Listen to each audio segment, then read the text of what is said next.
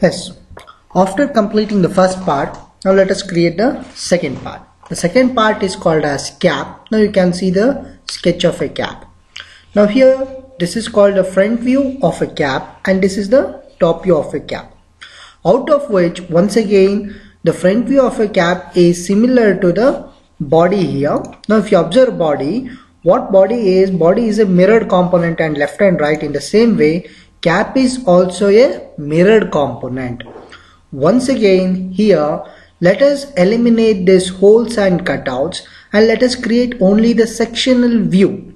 Let us create only the sectional view like this and then we can apply this hole after that we can do this cutout as well as this arc cutout everything can be completed and later it can be mirrored now let us study how to do these things. Now let me go for a command called solid part. Now after going to a solid part we have to select a command called protrusion. Now after selecting a protrusion select the front plane as a sketching plane. After that make use of a line command. Simply draw a horizontal line and a vertical line horizontal line and a vertical line and a horizontal line. Why we are drawing like this? Because we have a horizontal vertical horizontal vertical horizontal. Now we have to draw these two arcs. Now let me go here. Make use of a command called arc by center point. Let us select this midpoint as the center and the point on this line that is end point of this line as a radius let me draw a arc from here to here.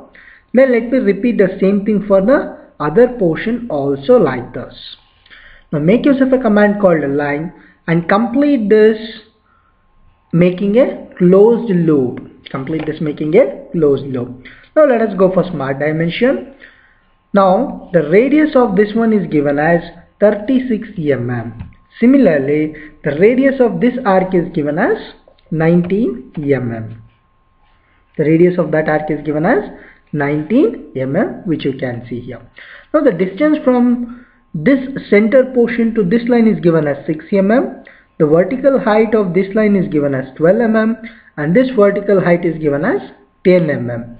Now from the center to this line you can see it is given as 44 from this edge to this edge that is supposed to be from the center is 22 mm then this position to this position the length of this one is given as r43 now let us do all these things.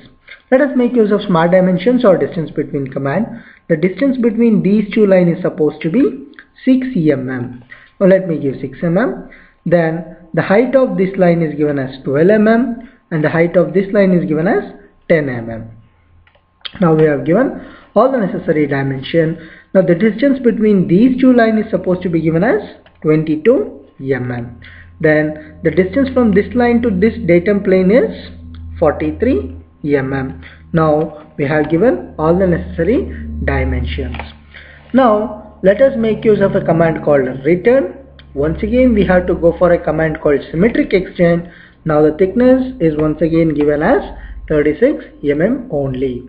Now we have created the right half of the body without considering the cutouts here without considering the cutouts. Now let us make this cutout first.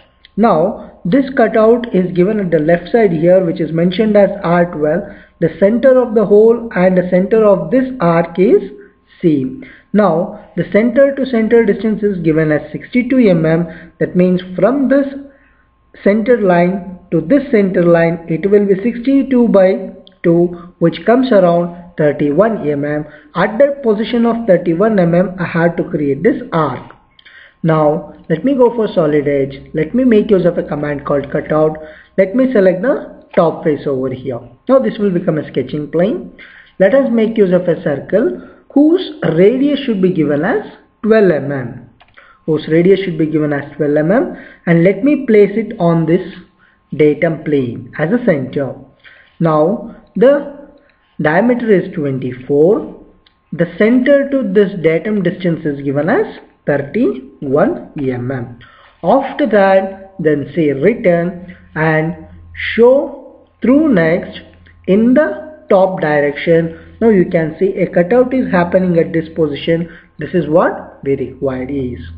Then once again make use of a cutout command. Select the same plane once again as a cutout plane go for a command called arc by center point. Now you select this midpoint as the center and this midpoint as the radius. Simply draw an arc which is supposed to be a open loop then say return and give the direction. Outside I wanted to remove the material. Now you can see we are getting only half there. We are getting only half there. So let us use a command called mirror copy feature always go for smart one then which has to be mirrored cutout number 2 has to be mirrored then accept it with respect to which plane? With respect to the front plane. Now you can see this portion is going to be completed. Sometimes the open profile is going to create both the cutout sometimes it may not. If it is not going to get it open cutout sorry when it is not when it is not going to create a cutout on both the sides for open profile then we have to use a command called mirror copy feature. Then after this next we have to go for a command called hole now let me select this plane once again. Now the diameter of the hole is given as 10.5 mm for a through hole. So let me say okay where it has to be positioned it is supposed to be positioned at the center of this arc. Now you can see the sketch it is given properly. Now the hole of this one is given as two holes of 10.5 mm that is diameter is 10.5 mm. The hole center and this cutout arc center is same that is 31 mm only. So I have created a same then say return in the bottom direction we have to give as a whole then say finish. Now this completes almost all parts of sorry almost all the features of a right half sectional front view. Then to get the left half we have a command called mirror copy. Let us go for mirror copy. Then select the front select the body. Then select the plane called right plane. Now you can see at the left side we are getting this object.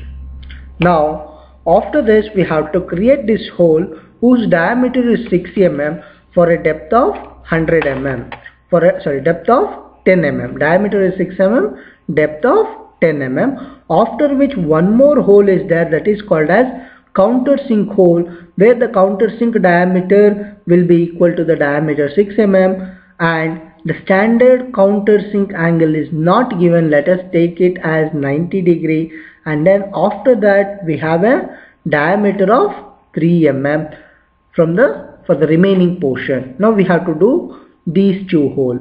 Now this is a curved surface.